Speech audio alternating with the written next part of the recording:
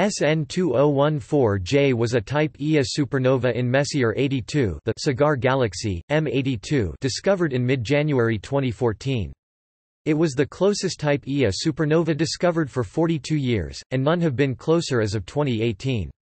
The supernova was discovered by chance during an undergraduate teaching session at University of London Observatory. It peaked on 31 January 2014, reaching an apparent magnitude of 10.5. SN 2014J was the subject of an intense observing campaign by professional astronomers, and was bright enough to be seen by amateur astronomers. Discovery The supernova was discovered by astronomer Steve Fossey, of University College London. Fossey was training four undergraduate students Ben Cook, Guy Pollock, Matthew Wild and Thomas Wright to use a small 0.35 metres 14 in telescope at University of London Observatory, located in Mill Hill, North London. The discovery was serendipitous, because Fossey was not searching for supernovae, had not planned to look at M82, and only wanted to take advantage of a short gap in the London cloud cover.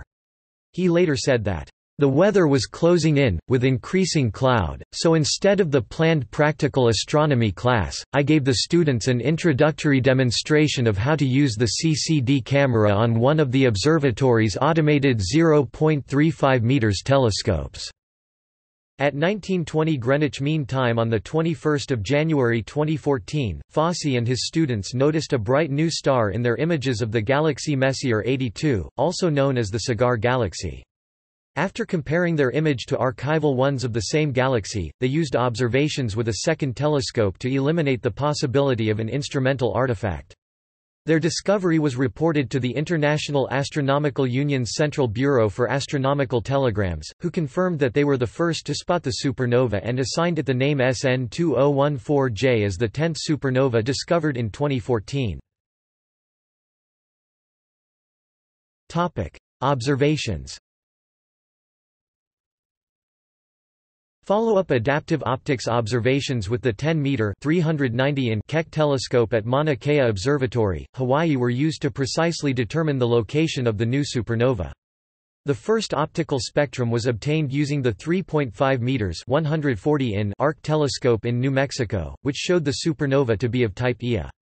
Pre-discovery recovery images were found that showed the supernova as early as 15 January, six days before discovery. Early indications were that the supernova had been discovered approximately 14 days before maximum light, so it would get brighter over the following fortnight.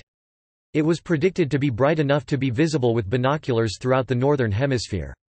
The supernova continued to get brighter until 31 January, when it peaked at an apparent magnitude of 10.5. SN 2014J was a popular target for amateur astronomers because it was located close to the Plough asterism the Big Dipper and visible all night for most Northern Hemisphere observers. Its unusual brightness and relative closeness led to SN 2014J becoming the subject of intense follow-up observations by astronomers worldwide, including with the Hubble Space Telescope. Over a hundred scientific papers have discussed the supernova. Physical properties The relative closeness of the supernova allowed astronomers to study it in much more detail than usual. Type Ia supernovae are especially important as standard candles in physical cosmology, and astronomers hope that SN 2014J will help them understand how these supernovae form and evolve. SN 2014J was observed by the International Gamma Ray Astrophysics Laboratory Integral, which detected the gamma ray spectral lines characteristic of the radioactive decay chain 56 Ni 56 Co 56 Fe. This was the first time these lines were detected in a Type Ia supernova, providing support for the standard model that this class of supernova produces large quantities of 56 Ni through nucleosynthesis. Observations of the diffuse interstellar bands in the spectrum of the supernova indicated that it lay behind a significant quantity of interstellar medium in M82. The supernova therefore suffered from interstellar extinction, with a reddening of at least one magnitude. The degree of light extinction from M82 dust blocking SN2014J reduces its value as an observational prototype for Type Ia supernovae, but makes it a powerful probe of the interstellar medium of M82. Researchers used archival images from the Hubble Space Telescope to study the environment of SN2014J prior to the supernova, hoping to identify the progenitor system, but found no identifiable progenitor star.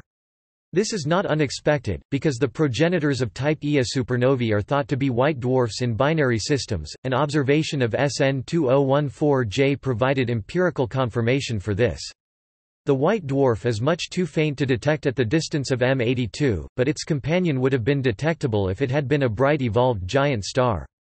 It will however remain too faint if it is a second white dwarf the double degenerate type Ia supernova path, a lower main sequence star, or even a giant star on the fainter part of the giant sequence. Distance At a distance of 11.5 plus or minus 0.8 million light-years, 3.5 plus or minus 0.3 megaparsecs, SN 2014J was one of the closest supernovae seen for decades. It was the closest type Ia supernova since SN 1972e, and the closest supernova of any type since 2004. Some sources initially stated that SN 2014J was the closest supernova of any type since SN 1987A, but this claim is erroneous. The last supernova that was unambiguously closer to Earth than SN 2014J was SN 2004DJ, a Type 2P supernova in the galaxy NGC 2403, 8 million light-years from Earth. SN 1993J was a Type IIb supernova at almost the same distance as SN 2014J, because it was located in Messier 81, which together with Messier 82 and NGC 3077 forms the core of the M81 group of galaxies. See also. History of supernova observation. List of supernovae References. External links. Light curves and spectra on the Open Supernova Catalog